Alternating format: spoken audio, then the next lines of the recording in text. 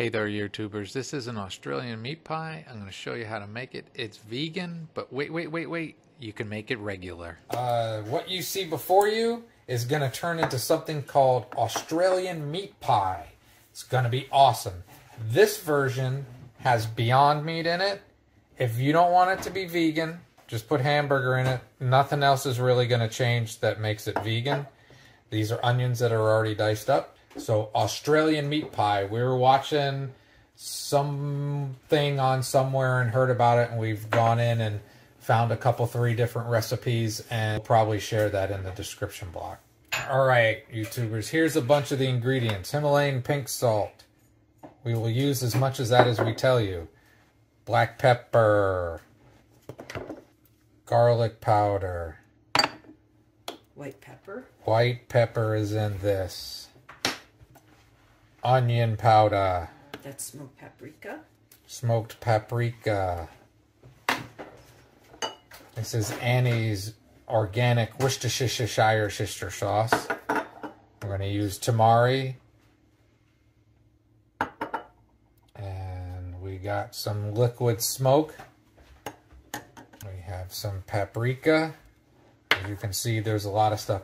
In the past, I've done some of these where we use a bunch of fancy little dishes, you know, it ends up becoming more of a heartache to get the stuff out of the little dish. So we're just going to tell you how much of everything we're using. Italian seasoning. We need some Italian seasoning. You can see this takes quite a bit.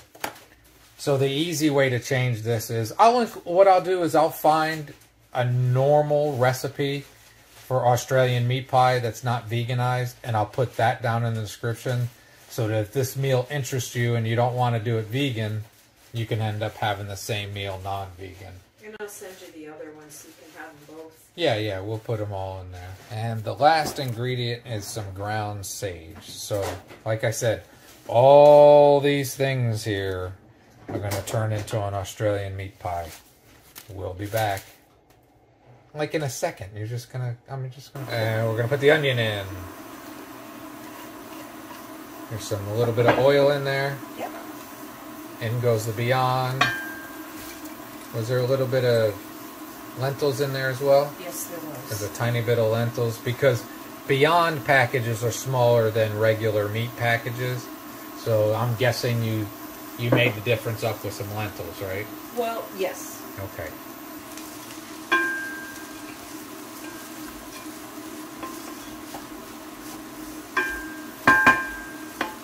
Okay, here we go. That is a tablespoon. That's the. Worcestershire sauce. It's, One tablespoon. It's vegan. Tamari, right? Yep. This is soy sauce, basically. It's just wheat free.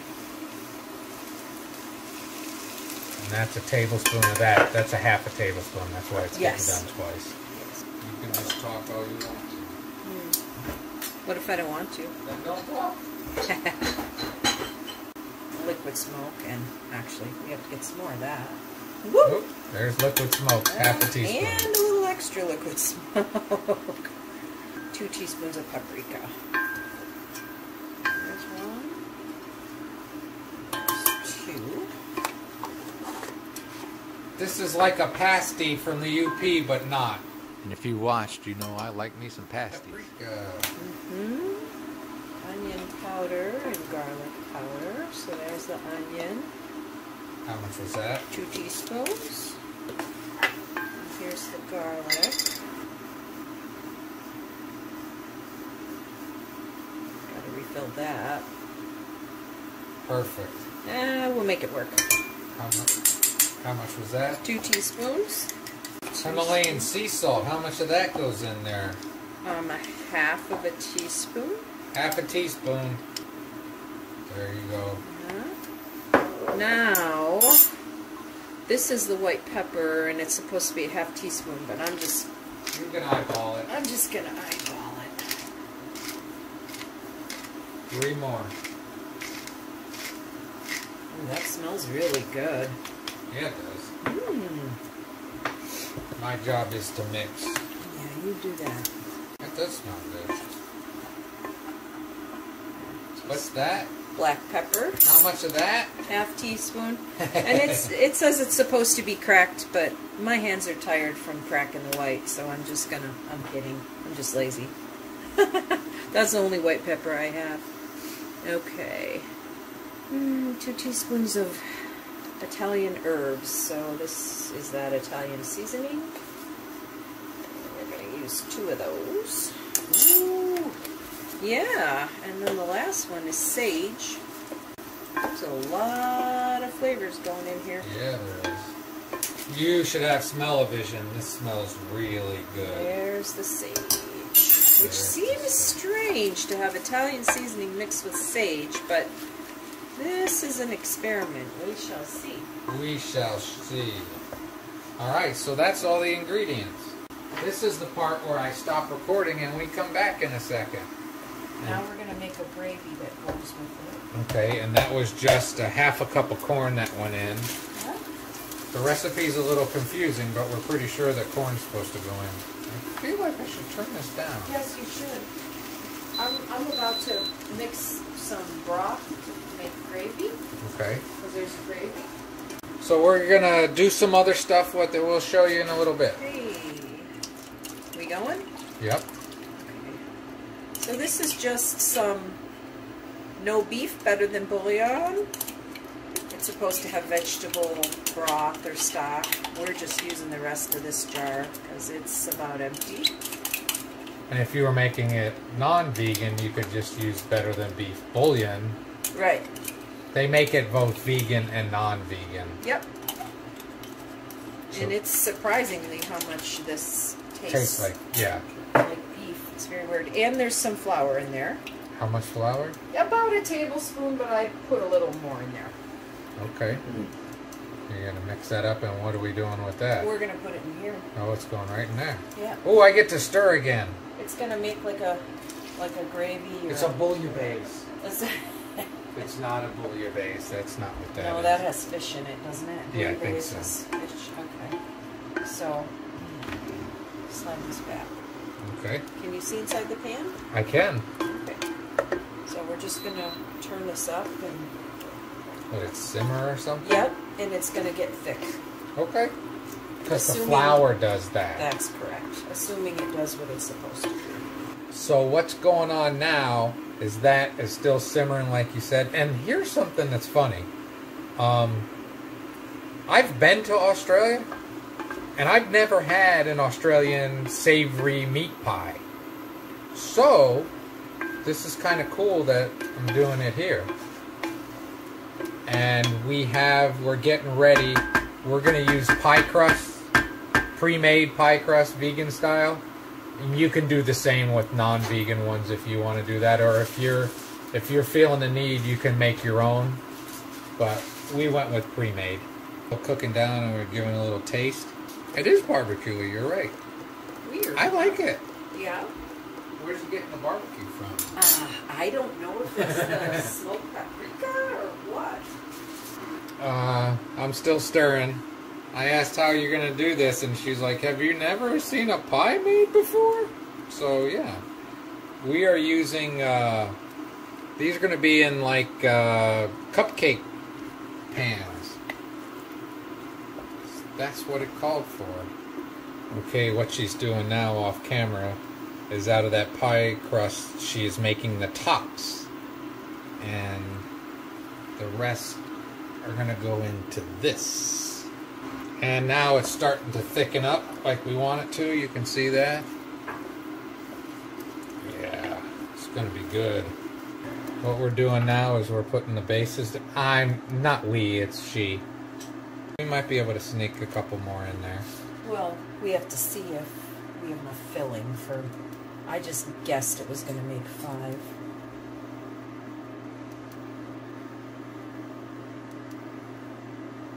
Hmm. That's what talented hands can do. Right. I'm just going to do these first and see if we have if we have enough meat. Then So after we made this, I reached out to an Australian friend I have, and uh, I'll share some of the stuff I was told during that conversation. We'll conversation. be right back. We make two batches. except we don't have any more. Well, I think I have more pie crust in the freezer, so I guess we could.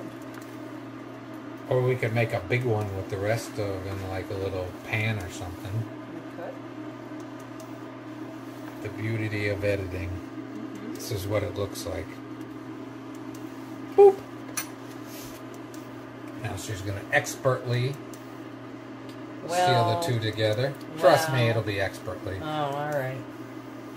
We all know those kind of people that have a lot of talent at something and they're probably a little too humble for their own good. This is expertly done. Speed this up for you. Unless you got stuff you want to say, you can say Nope, whatever. I don't want. have anything to say. For, for once in my life, aren't you surprised? I am surprised. I have nothing to say. Shocked and appalled. Shocked and appalled. These are not pretty. Like I had wanted them to be. I think they're pretty. Yeah. Yeah. You know, cooking perfectionists. This one we're folding because I made it a little bigger. We could make one in a burrito. That's what we could do. We could fill all the stuff inside a burrito, And fry it in a pan. fry it in a pan. Oh. Okay. That might not make it into the videos, but that's my might be what happens with the leftovers. Like deconstructed Australian meat pie turned into an Australian meat burrito. Burrito. I want a burrito. This is why it is very difficult, YouTubers, to make cooking videos. Why? Well, because you have a, you know, when you watch the food channel, they got real cameras there and different angles and shots. Mm-hmm. And when you're trying to just do something off a tripod, it can be a little bit challenging. Well, and here's another challenge. I never made this before, so Sure. I can't. You know, a lot of times when they make recipes, they've made it twenty Right. times. You know. And another shock on those shows, usually the people that are the stars didn't really cook the stuff. Yep. Let me get one out of the oven that we cooked earlier. They didn't cook that. They had a team about 10 people cook cook 20 versions of and they took the one that looked perfect out. This is real world stuff. real world Australian meat pie. yeah. You want to try this? I'm good at this. This is what I used to do in a you previous gotta life. get, you gotta put your finger under there. We, we can turn that burner off. Okay. See? These YouTubers, they know. I used to be professional at whatever this is called.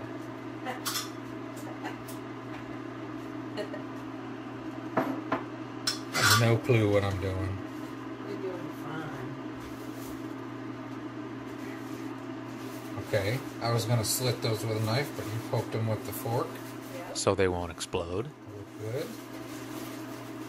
And a little Pam. I'll put some salt on there, I think. Yep. Be careful, it comes out fast. That's how my grandmother taught me how to do it. Put a little bit of salt on this. I don't eat a lot of salt, so I don't think we need too much. And we're back recording. Last second finishing touches. Well, I don't like this. I'm afraid it's going to all bubble out, so we're going to do that. It's really hideously ugly. That's not my best. These are not hideously ugly. They are Uh, beautiful. Okay. In the oven they go. In the oven they go for 20 minutes at 400 degrees. With this are going to be mashed potatoes, and that's what I'm doing now. You don't need to see making mashed potatoes. Really small, so they should cook quick. We're going to mash them when we're done. Hey, while you can't see stuff that's going on, a good safety tip, they didn't tell us to do this in the recipe. We put a piece of foil over the Australian meat pies in the oven so that they won't burn. They were starting to brown and thought maybe it could get to burning, so aluminum foil or tin foil, or Australians would say aluminium foil will do you good. Oh, and as I just said, I put a piece of aluminium foil over the top. I just laid it across. Okay, I watched her lay a piece of aluminium foil across the top. Okay, here comes part of the cooking that I'm qualified to do. Those are peas. These get used in this. That's a masher, and I'm gonna mash peas. You don't need to see peas get mashed, do you? But that's what I'm gonna do. I don't know how this is going to work, but I saw this in a different recipe that you put a. Actually, what was it? It was like a restaurant that served this. Okay. And it had um, mashed potatoes on the top of the pie, and then mashed peas on top of the mashed potatoes. Yeah, that's what we saw. And then gravy. Whoa! oh. See, maybe I'm not qualified to do this. And then We'll come back when I'm more qualified. Okay, we'll go back to mashing, and you want to finish your story? Uh? Oh, Restaurant. Yes, it was. Um, I saw. Where did we see that? I don't even remember now. Anyway, it was a restaurant that was serving these, and they served it with a scoop of mashed potatoes on top, and then mashed peas on top of that, and then at some Gravy. point in time there was gravy. So That's what we're doing here. Oh, we have some leftover mushroom gravy. we have some leftover mushroom gravy, and that's what we're going to use. Yeah, I'm just gonna thin that out a little. Okay, that's potatoes, bi- or potatoes. Potatoes get mashed next. That's peas getting mashed. That's enough of that stuff. All right, here we go with the construction of the Australian meat pie. That is not ice cream. That is not. That is beautiful yellow potatoes. Mm-hmm. My Aussie friend was actually surprised I'd never had this. Okay. I was told this way here is how mom would make it when she wanted to be fancy back in the day. Hmm. Looks like a Sunday. the mushroom gravy all heated up. I think Australians, they say you can put ketchup on this. Much, again, like a pasty. So maybe this is the, uh, no self-respecting Yooper will eat a pasty with gravy on it. Maybe, maybe no self-respecting Aussie will eat a uh, meat pie with gravy on it. We don't know these rules. We know the Yooper rule. There's two on this one. I'm guessing this one's mine. I was told what you got on the right there back in the day you would get at get petrol stations or footy games, you know, a good meal on the go. So much like pasties in the UP. Ooh, don't fall apart. Okay. now it's time for gravy. Again, this is the fancied up version we're finishing with. That look. Okay, now we're gonna eat this. Yeah. That looks good. Mm-hmm. When I spoke to my Aussie friend, she reminded me that they don't eat cats there in Australia, so they don't put ketchup on anything. They use tomato sauce, which, you know, we pronounce things and have different words for a lot of things in different countries. And in Australia, ketchup is tomato sauce, and tomato sauce here is spaghetti sauce there. All right, here we go. Taste test. I feel like I need a knife. They have rice rizzo, not rice roni. Look at that. Okay, that's a big bite. That's a big bite. Aha! I like that. I like that quite a bit. Mm-hmm. Yeah. If it called for oregano in Australia, you would use oregano. Somebody else would like that. You can see the mushroom. I really miss all the cool Australian sayings and pronunciations. Australian meat pies. That's a thing. What do you think? I like it. Tell the peoples. It's After you pretty- take another good bite of it. Oh, it's pretty tasty.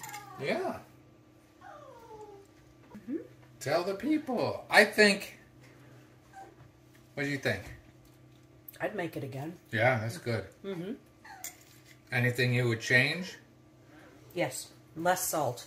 You think? Mm-hmm.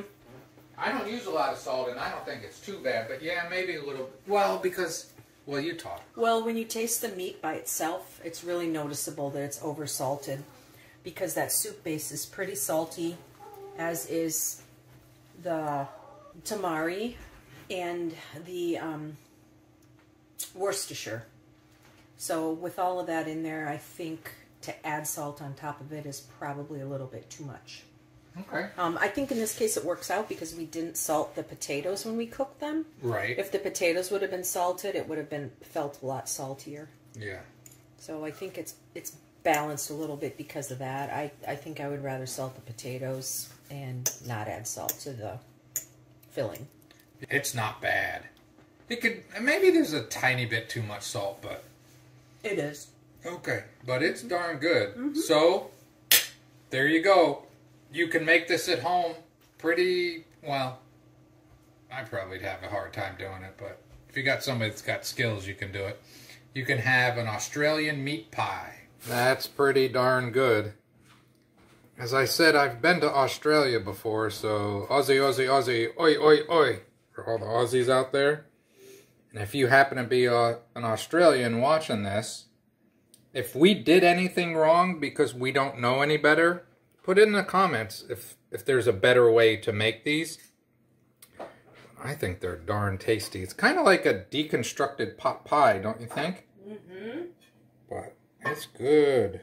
That's good. All right. That should be it. We'll see. I have an idea that might be rude. We'll see if I tag that on the end. If I do, cool. If I don't, have a great and wonderful day. All right, I'm doing what I told you. So that's the meat, that's the potatoes, and that's the peas. I'm going to put some gravy on it. And we're going to turn this Australian meat pie into an Australian cooked burrito. And we'll come back in a second. Now I want to start out with any Aussies that might be watching it. If me making this into a burrito is an insult, I apologize. I humbly ask your forgiveness. I don't know how important a dish this is to everybody, but we had enough meat left over that we didn't want to make any more of the whole thing, so I says, let's just make it into a burrito. It sounds stupid, but we'll see. We put all the same stuff in there. I might put uh, gravy over the top of it too, so don't mean to insult anybody. All right, made it into a nice, pretty burrito. I'm gonna try it. Look at that. It's beautiful. Hold on.